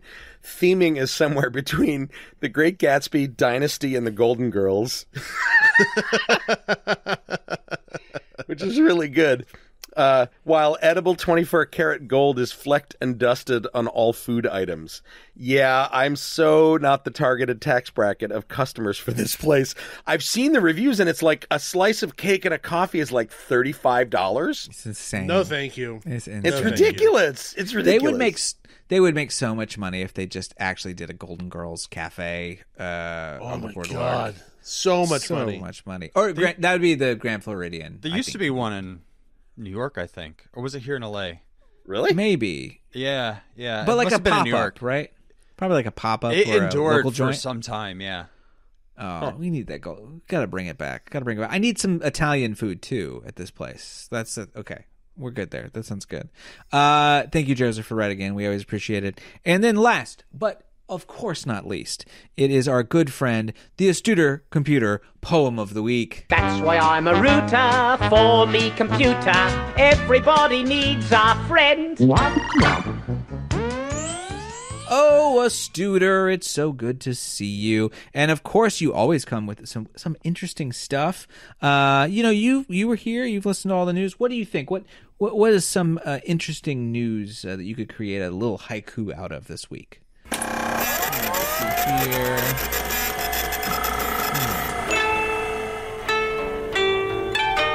Hmm. Elder's quiet plea in Disney's bushes concealed. Relief misunderstood.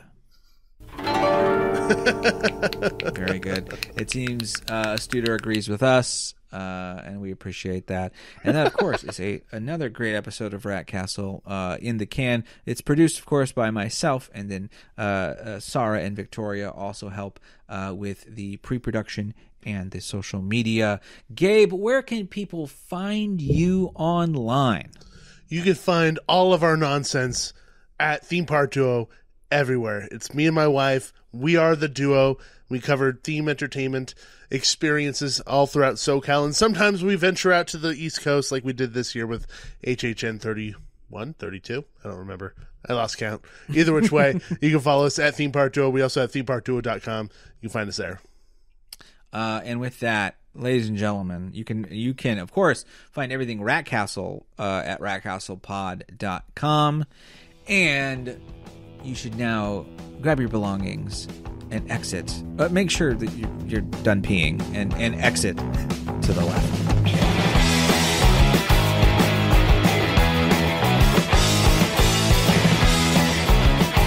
Will you stop this foolishness? What foolishness would you like to see? Will you get out of here? This has been a production of 710 Media.